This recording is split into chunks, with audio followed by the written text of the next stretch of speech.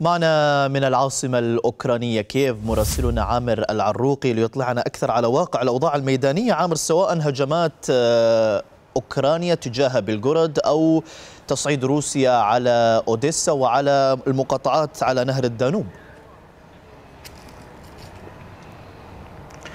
نعم عيسى ليلا الجيش الروسي هاجم المناطق الجنوبية باستخدام الطائرات المسيرة. حسب ما أعلنت أو أفادت به الدفاعات الجوية تمكن الجيش الأوكراني من إسقاط 11 طائرة مسيرة من أصل 20 أطلقتها القوات الروسية باتجاه مقاطعتي زبريجيا ومقاطعة أوديسا.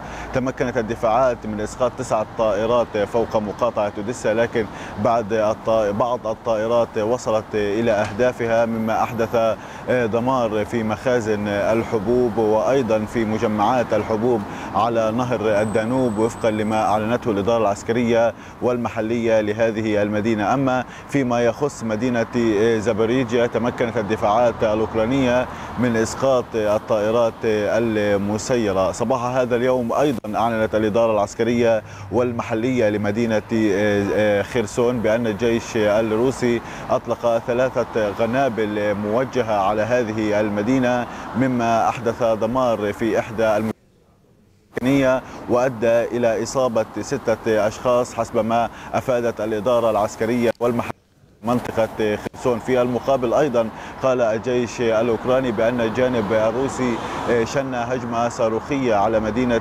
دونيتسك مما أدى إلى مقتل ثلاثة أشخاص حسب ما أعلن الجيش الأوكراني في المناطق الشرقية.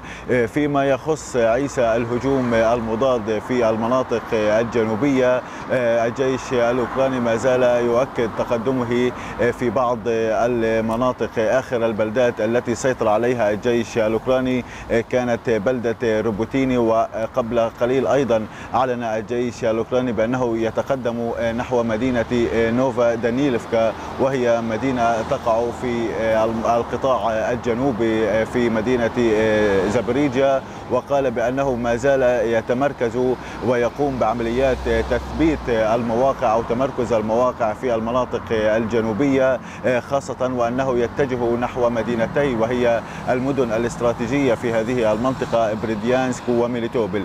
فيما يخص الجبهات الشرقية وتحديدا جنوب مدينة باخمود خلال 24 ساعة الماضية قال الجيش الأوكراني بأنه تصدى ل 30 هجوما شنه الجيش الروسي على المناطق الجنوبية. وأيضا قال بأنه نفذ 11 غارة. هذه الغارات استهدفت نقاط تمركز القوات الروسية على محور الجنوب وأيضا أضاف البيان بأن الجانب الروسي كثف من هجماته الصاروخية على مدينتي أفديفكا وليمان وأيضا كثف القصف على مدينة باخموت والمناطق التي تقع في جنوب هذه المدينة. وما زال الجيش الأوكراني يؤكد محاولات الجيش الروسي التقدم في منطقة كوبيانسك والبحث عن ثغرات من الدفاعات الأوكرانية في هذه المنطقة لكن بيان الأركان العامة للقوات الأوكرانية يؤكد بأن كل محاولات الجيش الروسي بالتقدم على صالح القوات الأوكرانية